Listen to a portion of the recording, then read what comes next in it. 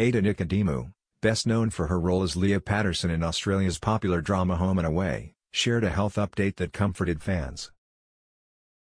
In a recent post, the 47-year-old actress revealed her health journey, saying that she injured a disc in her spine in 2023 while sneezing as she did not go into further details.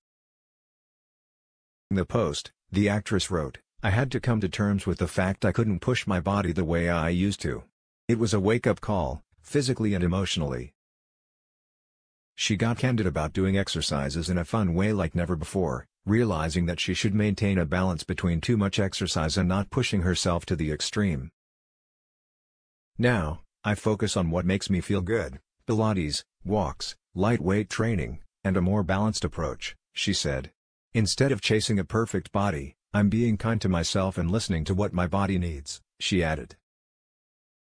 Ada also explained the importance of good health and asked people to stop copying others and instead focus on a health routine that can help them stay healthy and refreshed.